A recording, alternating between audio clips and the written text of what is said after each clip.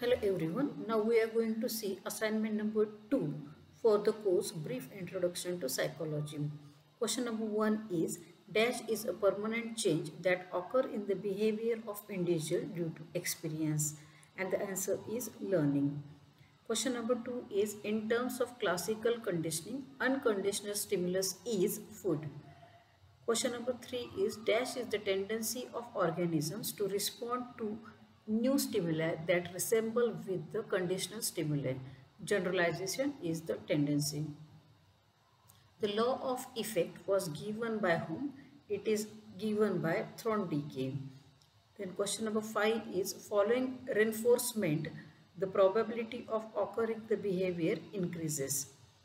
Then question number 6 is positive reinforcement is the presentation of the rewarding stimulus after the behavior while negative reinforcement is providing a desired stimulus and removing unpleasant stimulus after desired behavior. Question number 7 is dash is the presentation of unwanted stimulus following behavior. Positive punishment is the presentation.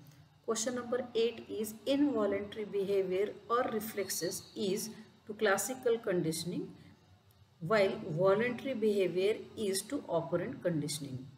Then question number 9 is the concept of cognitive map was given by Tolman. Question number 10 is dash occurs without the formal presentation of desired stimuli following a behavior. Social theory of learning occurs. Thank you.